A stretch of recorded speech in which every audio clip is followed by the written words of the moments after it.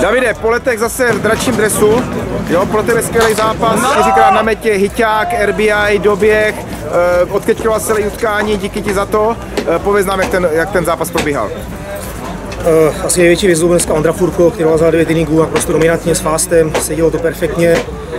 Parabuský sliding cage, záchranný home run, Grand Slam, prostě paráda, super, super zážitek zase po takové době si hrát tady 9 inningů s chlapama, s lidma, který znám a je to, je to super.